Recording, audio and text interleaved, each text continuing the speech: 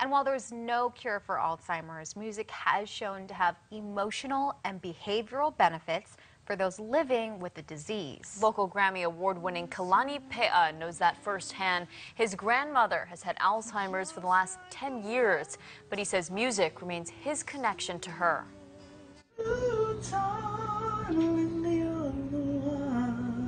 and only one.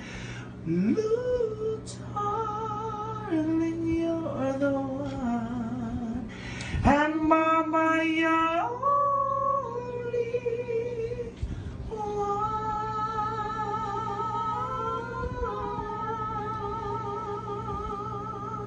I love you, mama. I like cry. She's truly the love of my life. I know she's she's happy for me. I wish she could be here.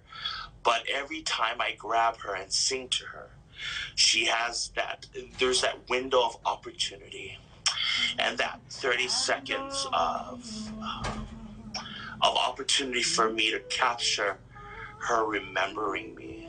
Many families are ashamed to say that they have loved ones that are affected by it and I really want to encourage and pinpoint the importance of not being ashamed to talk about it, to ask for help, to seek advice and help. There's the Alzheimer's Association, and it's okay to cry on someone's shoulder.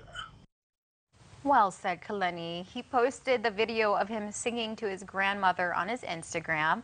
He wrapped up a sold out tour in Japan last night and says a portion of the proceeds from his shows always go towards programs supporting Alzheimer's patients and their caregivers.